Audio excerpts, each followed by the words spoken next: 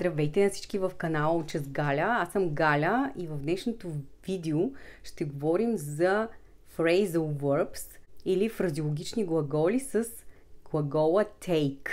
Затруднението ни да ги използваме идва от това, че те нямат аналог в български, тъй като в български имаме един основен глагол и обикновено, ако искаме да го заместим с нещо друго, ще използваме синоним, който е друг глагол. Тези глаголи са съставени от една дума, като им променяме само времето. Докато в английски не е точно така и повечето глаголи, които са phrasal verbs, а и не само, има много глаголи, които добавят едни думички, които ня... понякога могат да играят ролята и на представки. То видяхме от последното ми видео. Например, over, а може да бъде добавено след основен глагол и да промени значението му. И такъв е случая с глагол take. Всички знаем основното значение на глагола take. То е вземам, като прибавяйки различни думички в края на фразата, той придобива различно значение. Преди обаче да започна с значението на take, искам да се върна обратно на представката over, която коментирахме предния път. Ще приложа видеото в описанието за тези от вас, които не са го гледали. И когато прилепим over към take, става думичката overtake, която означава изпреварвам. Обикновено ако шофираме кола и сме на пътя и искаме да изпреварим някой или някой нахалник ни изпреварва неправомерно, тогава казваме This car is overtaking me или можем да използваме миналото време overtook me on my right side. Ако някой се опитва да ви изпревари на опашката или да ви изпревари а, докато се качвате в автобуса да ви избута по някакъв начин, отново може да използваме този глагол. He's trying to overtake me. Опитва се да ме изпревари да мине пред мен. От друга страна, ако образуваме фраза с глагола take и добавим over след основния глагол, over ще промени значението си и ще получи значение на поемам в смисъл на поемам позиция, дори може да е наследявам позиция. Ако ваш колега се пенсионира и ви назначат на неговата позиция, може да кажете I took over him. Тоест, вие сте а, взели неговия пост. Или ако сте решили да напуснете работа, колегите ви могат да ви попитат Who is taking over you? В смисъл, кой ще застане на, твой, на твоя пост. В това видео съм решила да включа в примерите максимално много въпроси, тъй като образуването на въпроси в английски също е един труден момент за нас, българите. Ще добавя и видеото за това как се образуват въпроси в английски, за да се запознаете с съдържанието му. Преди да продължа, искам само да отворя една скоба и да ви кажа, че за нас българите също е малко сложно да възприемем значението на take в смисъл направя снимка. Понякога глаголите do, take и make имат в английски подобно значение и много често чужденците бъркат глагола в фразата, когато стане дума точно за определена фраза. Имам предвид точно фразата take a photo, take a picture, която в английски е винаги тази. Няма как да кажете make a photo, няма как да кажете do photo. Въпреки, че на български казваме правя снимка. Тези глаголи do, make, take, а, са важни и е важно да знаем как да ги употребяваме правилно във фраза. Например, също така казваме take responsibility, т.е. поемам отговорност, take action, т.е. предприемам някакво действие, или можем да кажем take a compliment, да приема комплимент. Фразата take off по принцип тези от вас, които са пътували в самолет, убеден съм, че всички са го правили, ще чуят в кабината да ви съобщава, че самолета ще излети в еди колко си часа. that plane will take off within 15 minutes. Например, самолета ще отлети след около 15 минути или в рамките на 15 минути. И още един пример, тъй като казах, ще обърна внимание на въпросите, може да попитате What time does your plane take off? Виждате в а, словореда на въпроса, че на първо място е въпросителната дума, след което е спомагателния глагол и след това идва ред на допълнението в изречението. Приканвам и отново да погледнете как се образуват въпросите в английски, ако все още това е много трудно за вас. Друга страна обаче take off се използва за свалям дрехи или обувки. Ако някой ви дойде на гости, не се притеснявайте да кажете Could you please take off your shoes? Моля, събуйте си обувките. По същия начин можете да отправите молба Please take off your jumper. Например, свалете си половера. Take off има и още едно значение и има смисъл на ставам популярен, известен, бързо.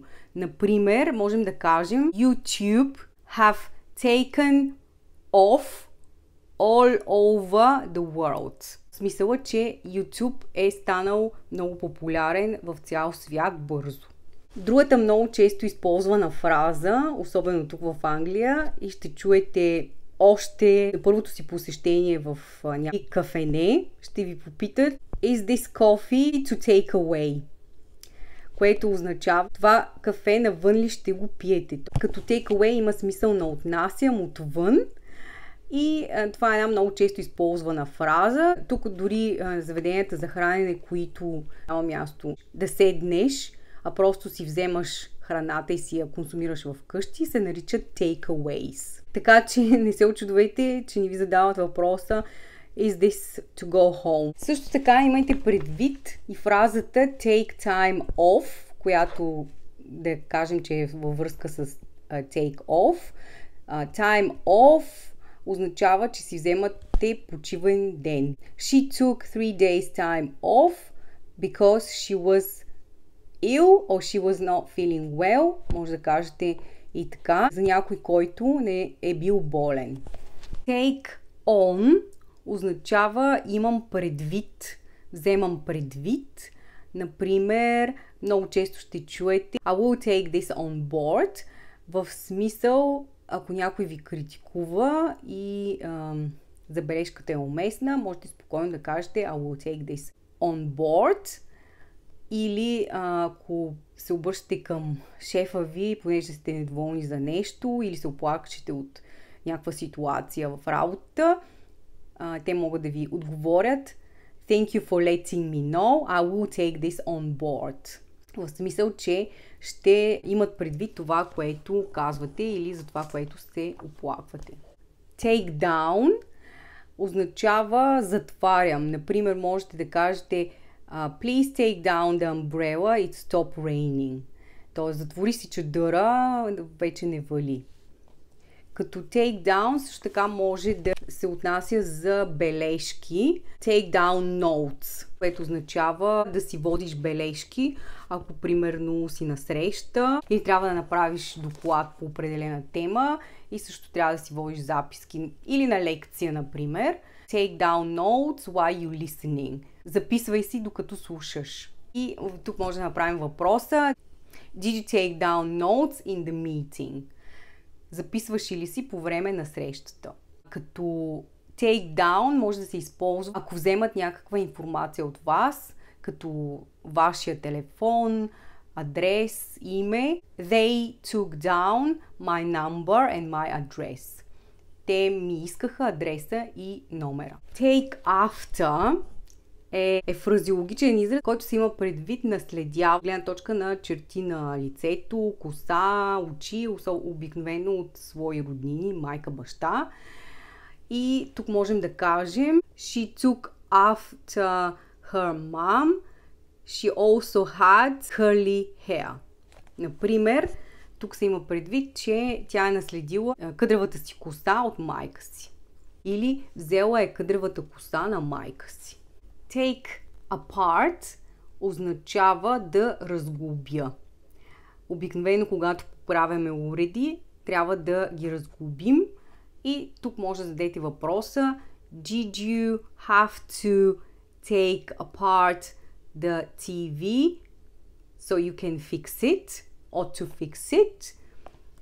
И тук се има предвид, трябваше ли да разглобиш телевизора, за да го поправиш. Take up се използва, когато говорим за поемане на длъжност, по-скоро тип отговорност, позиция или а, работа, приемане на работа. Например, take up a job е да ти предложат работа и ти да я приемеш. I'll take up this job. Примерно някой ви предлага работа, приятел или бивш колега и вие решавате да започнете тази работа и отговорът ще ви бъде I'll take up this job. И ако ви питат след време дали сте приели работата, може да кажете Did you take up the job? Глаголът take up може да се преведе на български и като взема място, т.е. се използва с това си значение. These clothes are taking up my wardrobe. Тоест, тези дрехи ми вземат гардероба. Take up също може да се преведе и като започвам уроци или вземам уроци. Например, I've recently taken up lessons in English. Наскоро започнах уроци по английски.